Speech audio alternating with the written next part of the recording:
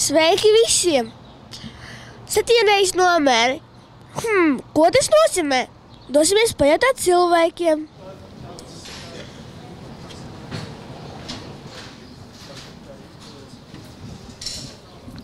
Labdien! Vai es ne- neatbildētu? Paldies! Ko nozīmē septiņi reizes nomēri? Nozīmē, ka visu kaut ko pirms tu kaut ko dari, viss ir tā kārtīgi jāpārdomā. Nu, tā kā labi pārbaudīt, nu, lai tiešām trāpītu. kārtīgi. Vairākas reizes pārdomāt, pirms izdarīt gala izvēli. Vairākas reizes pārliecinies, pirms kaut ko dari. Es tā to saprotu. nu, labāk pārbaudīt lietu, pirms tam kaut ko darot. Tagad iesim pajautāt ekspertam. Nu, tādā vienkāršotā valodā tas uh, nozīmē domā pirms dari, it īpaši pirms pieņem kādu svarīgu lēmumu savā dzīvē.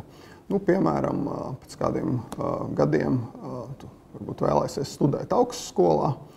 Un, uh, nu, pieņemsim, ka tu uh, izdomāsi uh, studēt, uh, kļūt par juristu. Uh, Nu, lūk, uh, nu, tad pirms pieņemt lēmumu, uh, kur tad tieši mācīties par juristu, nu, varbūt ir vērts pirmkārt uh, nu, sameklēt vienalga kaut vai savu, uh, savu paziņu lokā kādus dažus cilvēkus, kuri jau ir izmācījušies strādāt par juristiem. Varbūt arī, piemēram, aiziet ēnu dienā uz kādu advokātu biroju, nu, savākt dažādu informāciju no dažādiem avotiem par to, vai nu, tā tava izvēlētā, pirmkārt, vai tā izvēlētā profesija tev tiešām pašam interesē, pārliecināties.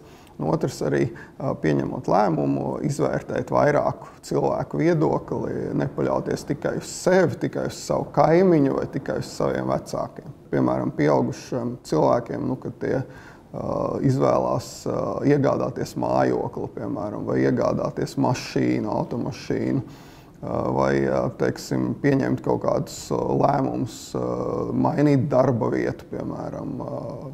Uh, nu, tādus ļoti nopietnus, lielus lēmumus dzīvē, nu, tad, protams, ekonomikas zināšanas noteikti palīdz. Nu, un, savukārt, ja pašam to zināšanu nav, tad vēlams pakonsultēties ar kādiem cilvēkiem, kuriem tādas zināšanas ir. Nu, vēlams arī vairāk nekā ar vienu cilvēku, nepaļauties nekad tikai uz vienu cilvēku viedokli.